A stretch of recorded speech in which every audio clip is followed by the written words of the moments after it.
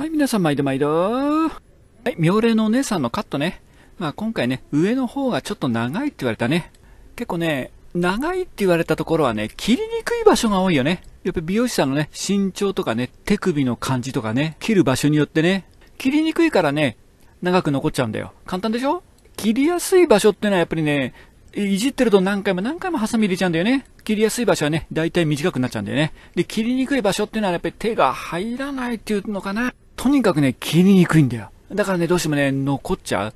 あとね、ただ単純に切りにくいっていうよりね、横スライスでも縦スライスでもね、いいから掴んでみると、その、お客様が気にして切りたい部分が出てこないんだよね。お客様がね、自分の髪の毛をね、触って引っ張ってここが長いっていう時はね、三角に収束させて、引っ張り出して、長いって言うんだよ。だからコサイン誤差美容師さんがね、こういう状態、ほら、後ろに引っ張り出すじゃない？するとまあ赤い線ぐらいのカーブに見えるでしょ？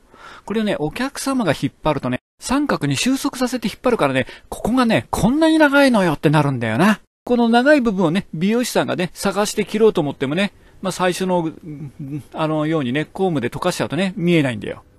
どうするかって言ったら、お客さんと同じ手つきで触って引っ張り出して切るのが一番さっきみたいにね、あの、三角に収束させて切るとね、コンベックスなんでしょ？真ん中がえぐれたような切り方だよね。コンベックスっていうのはね、真ん中がこういう風な感じのね、切り口ね。こんな切り口はカットルールに反するとか。ね。でもね、皆さん毛束収束させて切ってるわけでしょ？そうすると必ずこういう風なことになってんだよね。切り口っつうのはね。でもこのコンベックス切りやっぱり側頭部とかね、あの耳の後ろあたりやるときは横スライスでコンベックスで切っちまった方が重みっていうのは取りやすいよね。まあこれも加減っていうのあるけどね、本当でコンベックスみたいにやるとこの上の部分がグラデーションで被ってきてまたそれが重くなるからね、またそれも切ればいいだけの問題だからね。あとカットはね、教えてもらった通りとか、教科書に書いてある通り、美容技術に書いてあるような、あの、切り方通り、そうやって切ったからったってね、いい頭には絶対なんないからね。いい頭を作ろうと思ったら切ったものを見るってことだよね。コンベックスカットの使い方ね、この辺が重いって言われたらね、この辺が重いですって言われたらねなんとなくこの辺が重いね。この辺が重い。こういうのねちょっとちょっと見てみね。おっと。ねどこがまあちょっとこれだったらこの辺がなんか変な型ね。これちょっと変な型あるけどこんなのちょっと切ったぐらいでな元に戻るような重さじゃないよねこの辺はね。この辺がなんか重いのよってね。この辺が重いのよってね。じゃあこうちょっと出してね、まあ、ちょっとカット下手だけどね。どこ切りゃいいのってなるんでねこんなのちょろっと切ったぐらいでそんなの重さ解決しないからね。そういう時はやっぱり横スライスで掴んでねこの横スライスで掴んでみるとまあよくわかんね。横スライスで掴んでねお客さんね。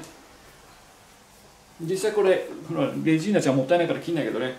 横スライスで持ってねこの辺ね分厚いって言われたとこね。横スライスで持ってここ切っちゃうと軽くなりやすいよね。簡単に軽くなりやすい。ね、すると今度上がグラデーションでかぶってくるからまた上は上でこうやってな適当に調整すればいいんじゃないの？上は上でシャギ入れるとかでね。はい。まあ基本今みたいなカットの仕方の時はチョップカット推奨だよね。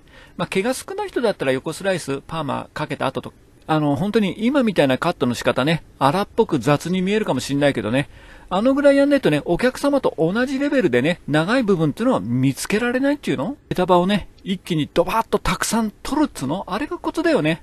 まあ、美容学生さんじゃちょっとわからないと思うけど、カットをね、始めたばかりね、いろんな有名なね、講師の先生のもとでね、いろんなことを教わってくると思うんだよね。で、そういう方がね、今みたいなね、ドバーって取る切り方、何おっさん、デタラメ切ってんだよ、なんて思うかもしんないけどね。いや、最後の最後こうなるんだよ。逆にもうカット慣れちゃうとね、正確にブロッキング取る意味がわかんない。あと正確なスライスだの、シェイプだのさ、わかんない 本当にもう勘とか適当って世界だよね。だからもう我々のカットっていうのはもうカット始めたばかりの人には教えられないよね。本当にね、どこ切ってんだおっさんとかね、どこ切ってんだおばさん、そんな髪の毛の取り方、聞いたことがね見たことがねえってね、あの、カット始めたばかりの方は我々のね、おっさんおばさんカット見てそう思うんだよね。まあ、カットができるようになるとね、我々の方、世界に来るっていうの？我々の切り方にね、まあ、早くね、頑張って、ね、カットマスターしてもらいたいね。はい、お疲れ様でした。